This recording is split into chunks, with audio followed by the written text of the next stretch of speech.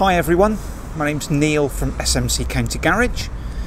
Today we have got the Seat Leon FR technology and this one is in a rare colour, the superb alloy blue metallic.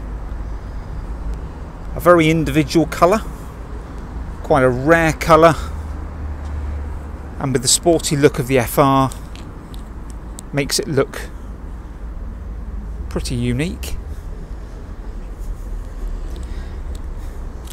This particular car has done just over 33,000 miles and is in the condition you would expect a car of this age and miles to be.